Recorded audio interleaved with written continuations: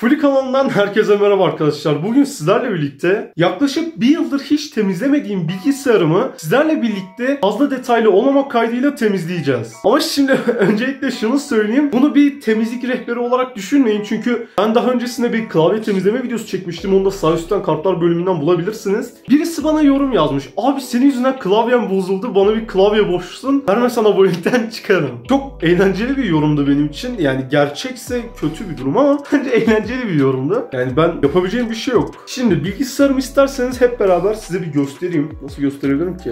Bilgisayarım burada. Şimdi bunu önce bir çıkarmam lazım buradan. Kapalı bilgisayar. Şöyle göstereyim. Fazla kirli değil şu anda. Ama yine de yani temizlemekten zarar gelmez. Hemen çıkaralım. Şimdi kasanın genel durumunu size bir göstereyim önce. Şöyle bayağı bir toz var etrafında. Ve aslında benim bunu temizleme sebebim şu anda benim bilgisayarım aşırı derecede ısınmaya başladı. Mesela edit yaparken renderda falan deli gibi ısınıyor ya. Elimi artık ısıtacak kadar ısınıyor. Size şöyle bir göstereyim. Oo. Şuraya bakar mısınız? Görebiliyor musunuz? Bayağı bir kir var yani işin açığı. Şimdi alet edevatlarımı alıp geliyorum. Birinci malzememiz süpürge. İkinci malzememiz de fön makinesi. Üçüncü malzememiz de bez. Bunların hepsi bana yetecek diye düşünüyorum. Ama öncelikle şu bölümü benim ciddi anlamda almam lazım. Hemen elektrikli süpürgeyle onu almak istiyorum.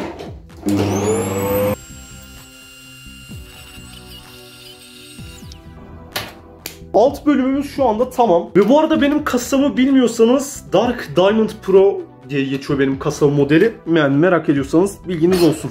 Tozlar uçuşuyor ya. Şu malzemeyi de sanırım yıkamam gerekebilir benim.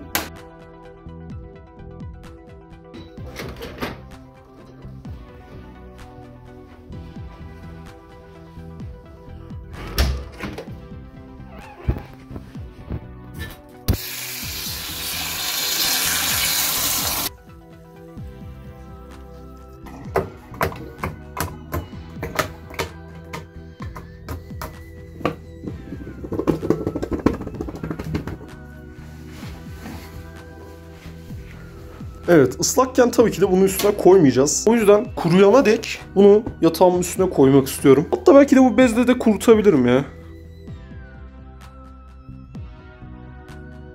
Bu arada bu malzeme çok kırılgan bir malzeme yani fazla basınç uygularsanız bu ıslakken bunlar kırılabiliyor. Ya bildiğin çatlıyor, patlıyor, kırılabiliyor. O yüzden fazla zarar vermeye gerek yok. Şu bölümü de temizleyeceğim. Tekrar aynı şekilde bezimizle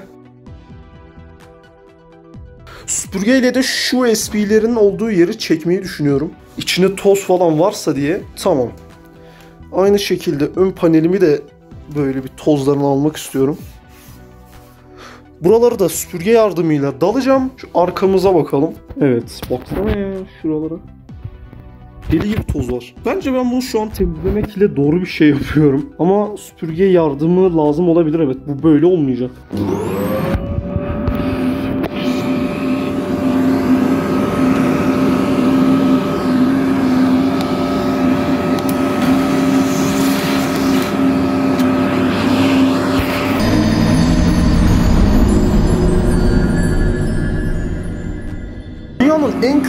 Süpürgesi olabilir ya.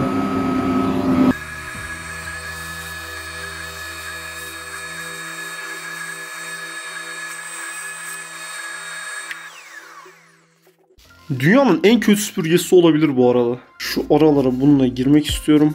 Ya şu anda aslında önemli olan bunun içinin temiz olması. Yani ne anlamda için temiz olması. Bu ısınmasın yeter benim için şu anda. Başka da bir şey pek de istemiyorum aslında. Tamamdır bence dış yüzeyimiz şu anda gayet güzel. Buraya da bir bez vurabiliriz belki.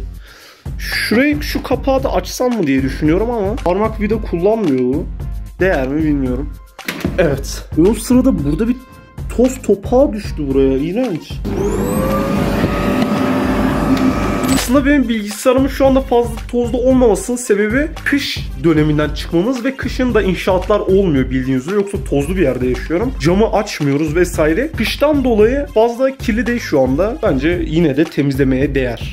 Şimdi bu işlemi yaparken muhtemelen iki şeye ihtiyacım olacak. Hem süpürge hem de fön makinesi. Şimdi şey diyebilirsiniz ya bu fön makinesini sen tutacaksın da hem sıcak hem de basınçlı hava. Hayır ben bunu soğuk olarak kullanacağım şu yerde görünen.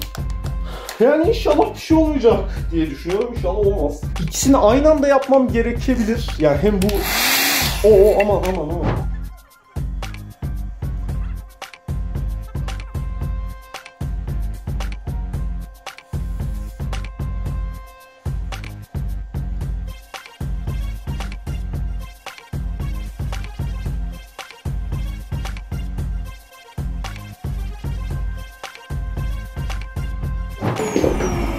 Şu aralarındaki tozları görebiliyor musunuz bilmiyorum. Şu mesela işlemcinin arasındaki o toz, kirler baya kötü. Ve sanırım şu an fark ettim de benim balkona çıkmam gerek. Hadi balkona gidelim. Etrafa yüklü miktarda toz dağıldığı için şu anda balkona çıkmak durumunda kaldım. Gerçi balkon da batacak. İnşallah annem bu videoyu izlemez. Ama herhalde balkonun yıkanması gerekiyor. Şöyle şu anda kameraya ne kadar görünüyor bilmiyorum ama deli gibi toz çıkıyor. Öyle böyle değil. Dur flash açsam belki görünür. Var ya deli gibi toz çıkıyor. Vay be. Bu kadar beklemiyordum açıkçası. Bilgisayarın neden ısındığını şimdi anladım. Isınsın bir zahmet adam. Aa, şu anda deli gibi toz çıktı. Öyle öyle değil ya. Anlatamam. Son kez her yerine toz vuracağım. Ondan sonra içeri gideceğiz ve kabasını aldıktan sonra eee, bir tekrardan süpürge yardımıyla bunu çekmeye çalışacağım. Ondan sonra da videoyu bitireceğiz.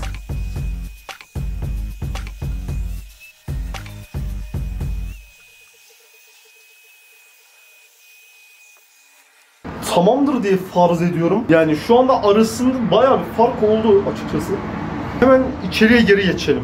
Odaya tekrar geldik ve üstüm başım toz içinde. Gösterebilecek miyim? Her yerim toz oldu ya. Şöyle bir bunun şuralarını temizleyeyim. Bir nevi kabasını alalım. Ya bence şu az önceki benim yaptığım fön makinesi basınç, kompresör karışık şey. Gerçekten bu bilgisayarın hızında bir fark yaratacak eminim buna. Çünkü öyle böyle değil. Aşırı derecede toz çıktı ya. Ve şu anda ekran kartının üstünü siliyorum. 1050 Ti yani bir şey olsa da artık yapacak bir şey yok bu ekran kartına. Statik elektrik vesaire. Tamam. Bence şu anda gayet güzel bilgisayarın durumu. Öncekine kıyasla.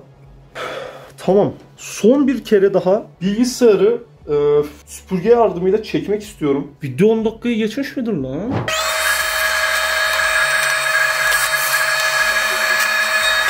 Tamamdır. Son olarak şu kabasını da aldıktan sonra işlemimiz bitecek diye umut ediyorum. Şimdi bilgisayar açılma durumu da var. Bu kadar şeyden sonra. Ya şu bilgisayarın ön paneli açılıyor mu ya? Dark. Ah. Bir dakika açılıyor galiba. Hiç zorlamayacağım. Ve bu arada şey soranlarınız olabilir. Neden kasanın üstü açıktı? Çünkü ben kasanın üstünü açık kullanıyorum. Bu yani açıklama. Tamamdır. İnşallah tamamdır. Ve bu bilgisayar hakkında yakında bir detaylı video gelecek. Yani onu da izleyebilirsiniz. O yüzden takipte kalın. Şöyle son halini göstereyim size kasanın. Böyle. Siz sanki kasanın içindeymişsiniz gibi değil mi? Full işte böyle bir yer. Arkadan da şöyle görünüyor.